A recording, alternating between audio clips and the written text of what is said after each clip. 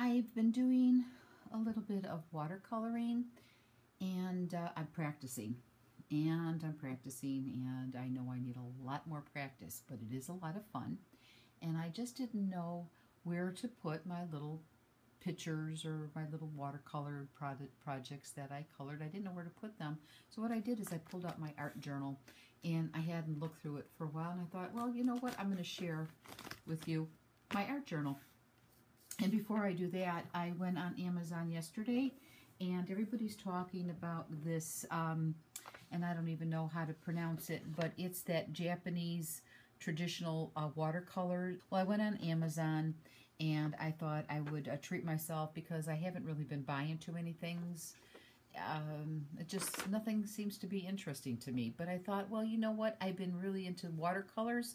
So I went on Amazon uh, naturally, it's all sold out everywhere you look. Uh, I can't find it anywhere. It's sold out. So this will not be uh, shipped out to me until around the 8th of April to the 18th of April. I don't know. So, hey, I waited this long. Uh, I can wait a little bit longer. So I can't wait to uh, get this new watercolor to see how this works. But, so anyway, what I wanted to show you is my watercolors that I just didn't know, like I say, where to put them. So I just had some here, and these are a couple of the freehand ones that I did, which I thought was kind of funny because it's something that I just can't do. I just don't have it in me, but it was fun doing, and like I said, that's what it's all about. Some of these pages were from my art journal where they all, were already colored, and either they were leftover sprays or they were from stencils that I just wiped off my stencils and put them on the pages. So I just thought I'd go ahead and just glue these watercolor images into my art journal. So what I'm going to do is I'm going to start from the beginning and I'll show you what I have so far. Um, this is one of my pages that I did with uh, Curiosity Shop. It's a tag and I just uh, I just used this is my really my go-to the Studio uh, Multi Medium Matte. I use this for my glue instead of Mod Podge on this one. And all I did is I took all of my scraps from Curiosity Shop and I just stuck them on the page. Um, I already had this tag and put the tag on there. So that's what I did to this page. Yeah, let's see here. I'll show you one of my favorite pages, but here's another one. These are some of the techniques that I tried. This was um, actual uh, tissue paper that I put down, and I believe I used Mod Podge on this. And I put Mod Podge down, I put tissue paper, I rolled it up, and then I did my stenciling. This is a digital uh, clip art, digital image, I'm sorry that I colored and stuck that on there and it says beauty blooms in the garden as well as the heart. So there's that one. Like I say there's a little bit of technique in here. I use some sprays um, I don't know whatever little stamps here and there. There's no rhyme or reason you just do it. I just do it. Here's another one of my watercolors just trying to practice. Here's two birds, a dragonfly. Here's one of my paper towel butterflies that I thought I'd add. A little clip art here, and I dated it. This was uh, going to be, oh wow, going to be March 7, 2014 that I did this one. And that's kind of nice too. See, even last year, I'm happy spring. I'm thinking about spring. See, so uh, it must be the time of the year because that's what I'm doing. I'm looking through this stuff and I'm thinking of flowers and painting flowers and stuff here's, like I say, these are some of the pages that I just have the sprays that either bled through or just wanted to check it out to see. So that if you do have something that you want to put on there, the page is already ready for you. Here, um, another one, like I say, I did some stenciling, did some cutouts. Again, stencils, had some stencils. A lot of blank pages, but hey, when I'm ready to do it, here is one, another one of my mixed medias, and it's better to take a risk than miss the moment of the magic. Here, this is where I use some molding paste. Did some cutouts. Did some sprays on that. Again, sprays just wipe my stencils off on these pages. I like when it uh, bleeds through and it shadows, gives it a lot more texture. This is one of my favorite, favorite pages, and I'm glad I've kind of put it in the center of the book. Enjoy the little things in life. For one day, you'll look back and realize they were the big things. And here's one of the uh, Prima dolls that I cut out. I paper pieced it, cut out some hearts. I did um, crackle paint, stencils, um, just painted it. Um, uh, used acrylic paint, watered it down, let it drip down. So uh, this is this is one of my favorite pages. I really like all the colors in it and everything. So there's that one. Again, some more just colored pages. Again, just wiped off the stenciling. Here I wanted to try something again. I had the mica fiber. what do you call those mica fibers or whatever. Um, this is day and this is night. That's what I named it. Use some glitter, some more of that um, molding paste they call it, I guess. That one. This one here is a little sentimental to me. This is all about my dogs, and um, this was dated in April of 2013.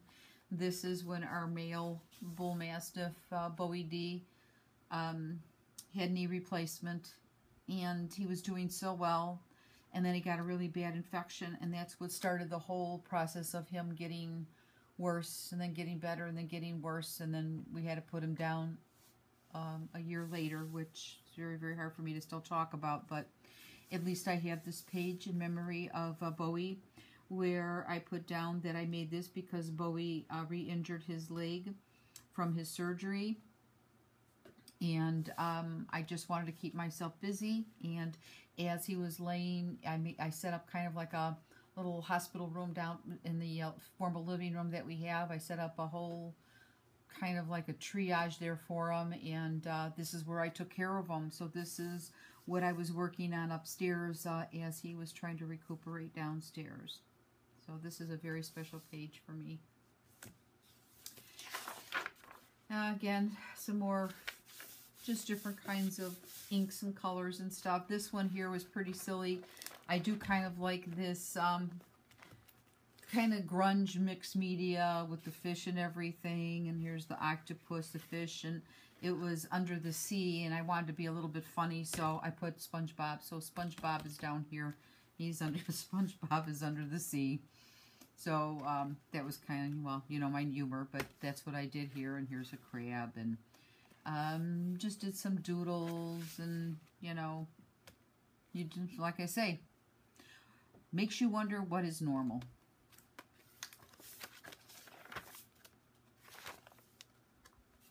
Here again, uh, another one. I looks like I didn't date this, but I'm sure this was around the same time in the spring.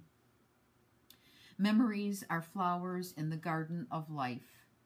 And I just had all these different cutouts, and I thought I would just go ahead and uh, paint and do a little bit of um, texture stamps and cutouts Here's one of my little stamps that I have. I think these little stamps are so cute. I used a little bit of Flower Soft and um, flat back pearls and some bling here and added my flowers. Here's my butterfly. So if anybody knows me, you know how much I love flowers and, and butterflies and nature. So there's that page. Here's another one with the dogs that says the dog.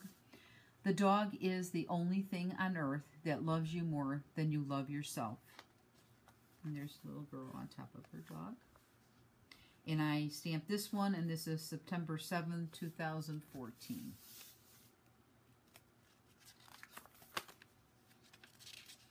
Some more pages. Like I say, I can go ahead and add whatever I want. Some of these pages are already done for me.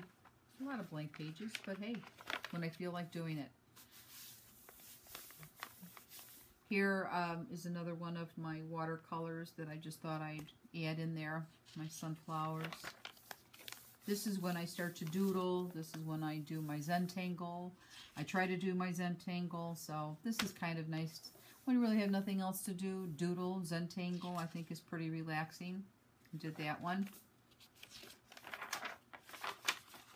Here's another one of my uh, Zentangles, and I, this one was done February of 2014. I tried to practice some of my Zentangles and made little squares. I have a stamp that I stamped, and it had the squares. Added a little bit of my uh, mixed media through there.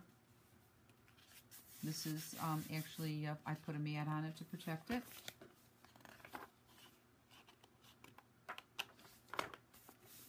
Here's another one of my one of my favorite pages. These are my um, paper towel paper towel butterflies that I added. And it says, I asked God for a flower, and he gave me a garden. And um, stamped it, highlighted it, just used all different kinds of sprays.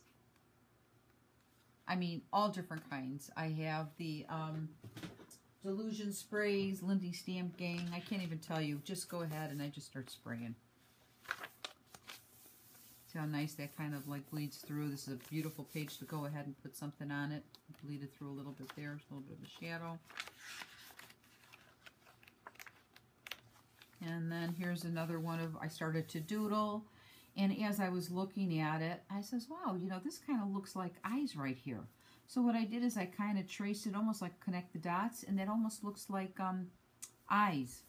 So what I did is I added that, and uh, this one I think I titled um, I See You. I think I titled this I See You. Here I doodled, and it actually looked like a little bird's face in there, so I kind of um, highlighted this a little bit to make it look like a bird.